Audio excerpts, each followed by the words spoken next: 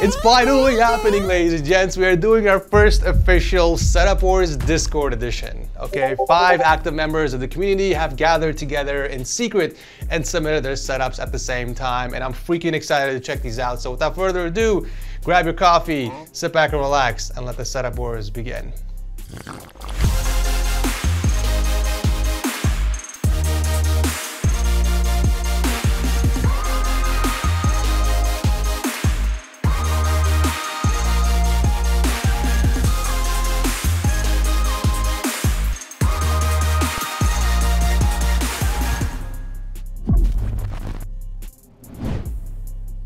Know, ChatGPT is cool and all, but constant copying and pasting can be tedious. But what if that was already embedded in your keyboard?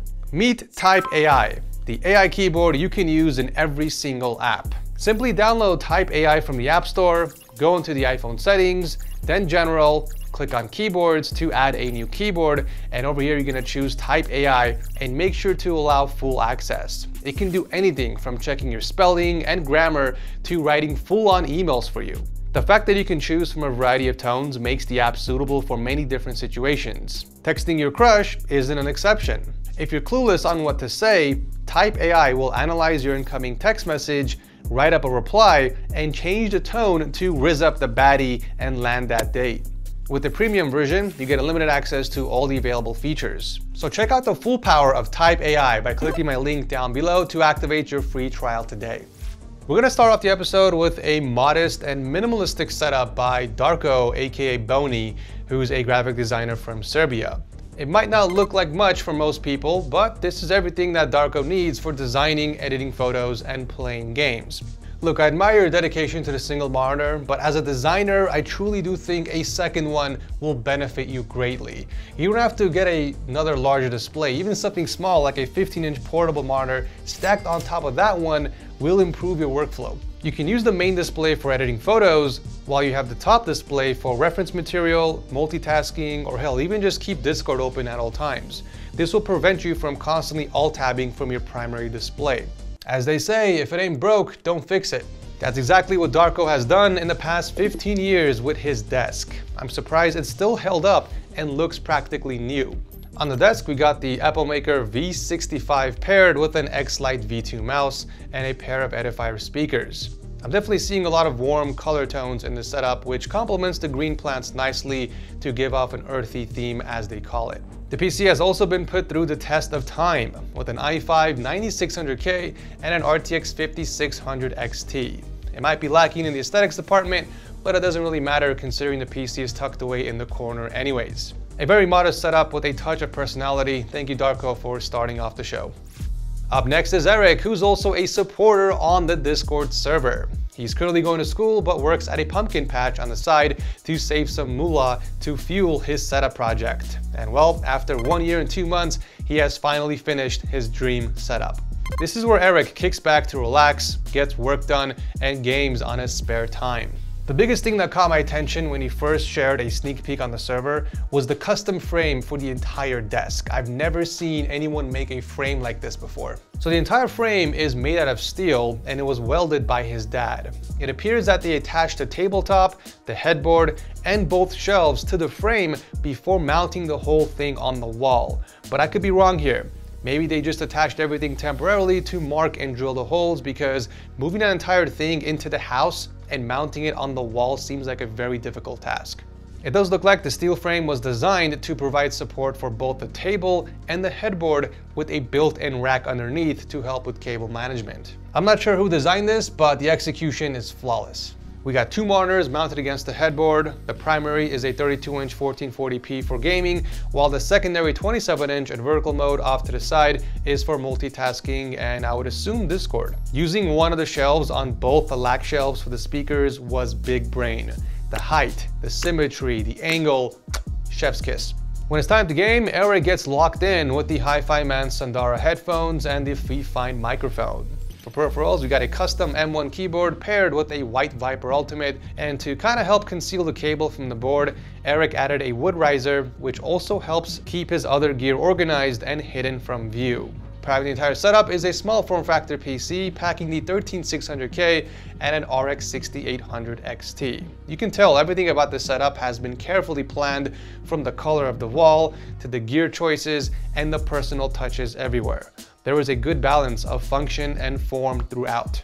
A very refreshing setup that made it extremely easy for me to award the 61st seal of approval. Congrats Eric, hit me up in Discord to claim your plaque and your free TechSource mousepad. Coming in at number three is I Don't Know. Not that I don't know who it is, he literally goes by the name of I Don't Know from the server. While his identity is a secret, his setup is now revealed for the whole world to see. We have yet another single monitor, and I just gotta say, I respect anyone who is rocking a single monitor. For whatever reason, okay? I don't know how you guys do it, but I gotta respect it. If you're watching this video on a single monitor, sound off in the comment section with the hashtag single monitor gang so I know how many of you guys are out there.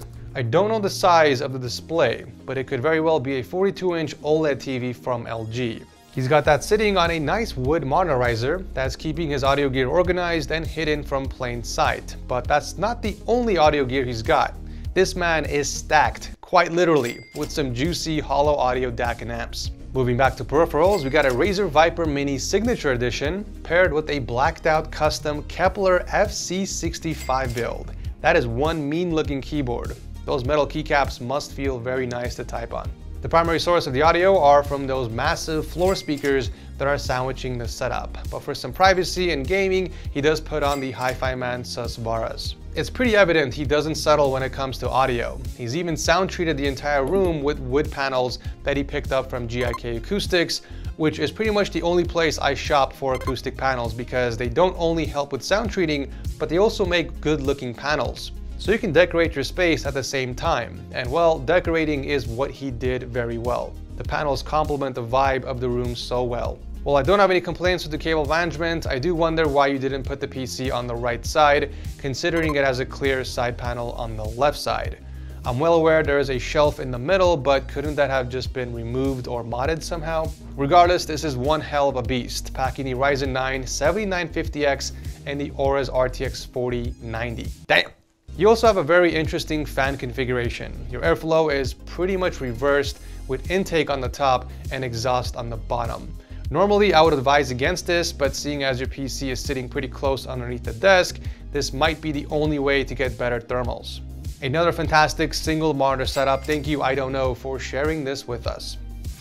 While on the topic of sound treating, take a look at Joe's setup that will absolutely knock the acoustic panels off your socks. I'm starting to see a trend here with Discord users and really good audio gear.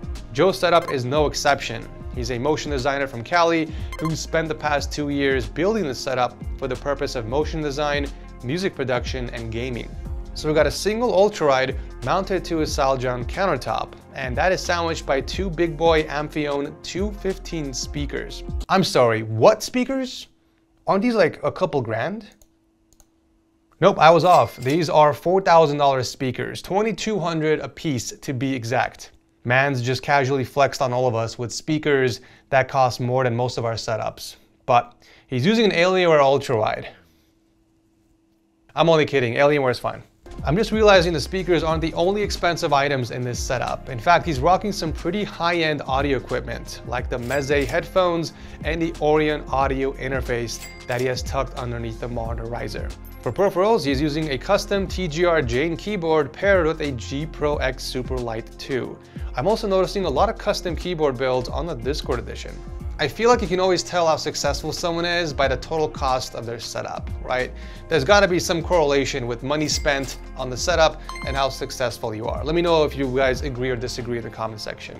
I feel like this is accurate in a lot of professions. Maybe not all the professions, but most of them, like DJing, for example, right? Some of the best DJs out there have state-of-the-art mixing equipment, sound screening. Um, same goes for streamers. These are the headphones, this is my controller, this is Okay, I take that back. Regardless how successful Joe is, the setup is definitely impressive, and I can see the passion for his occupation reflect into the setup that he has built. The decor is tastefully done and blends in with the ambiance of the room without being too distracting. He's also not afraid to personalize it with some of his hobbies. Look, I'm not gonna tear him a new hole with the cable management because I know how difficult it can be to manage wires from all of that audio equipment. But I will give him credit for using a rack to keep them off the ground and relatively hidden from the front. Now the PC powering it all is a beautiful custom chrome hardline build. We got the i9 13900K that's paired with the Gigabyte RTX 4090 and 192 gigs of RAM. Wow a worthy beast to power a badass setup. Thank you, Joe, for finally coming on the show. Ladies and gents, we are ending off the episode with a bang. Zach, who's an HVAC tech from Arizona, has built himself the ultimate drifting car inspired setup. Specifically, the Japanese drifting culture is the main inspiration here. You don't often see rims mounted on the wall, but that's what makes this setup already stand out from the crowd. We got the primary setup on the left and a dedicated racing sim in the corner. So the primary setup is rocking stacked 27-inch monitors that are mounted to a Karlby countertop, and we got a few Alex units for support. Symmetry is definitely one of the things this setup excels in. I mean, everything is perfectly balanced on both sides. From the rims up top to the shelves, the pictures, and even the speakers are perfectly placed with tilted stands. I couldn't be more proud. Moving on to peripherals, you got a custom GMK Pro keyboard paired with a G Pro X mouse with a clean straight cable going across the desk and into the two cable racks he attached underneath. I mean, that cable is straighter than me. Hey, Aside from the speakers, the only audio source he's got are the Corsair HS80 headset, which he keeps underneath the desk.